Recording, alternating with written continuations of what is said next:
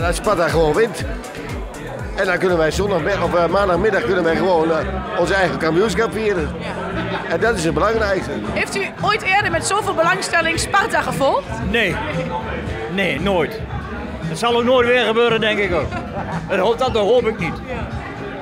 U heeft wel een heel duidelijke voorkeur uh, dat het niet vanavond zonder te spelen al gebeurt.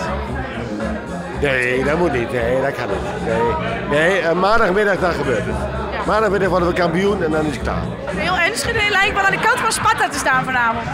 Uh, er zijn natuurlijk wel mensen die hopen dat ze vanavond kampioen worden. Want wat je in je zak hebt, dat heb je.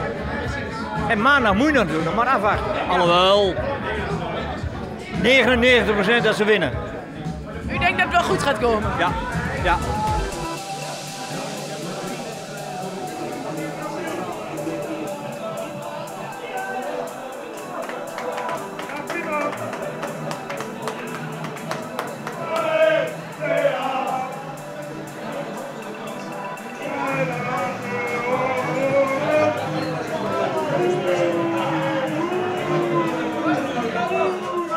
Dit lijkt niet meer mis te gaan, hè, voor Sparta?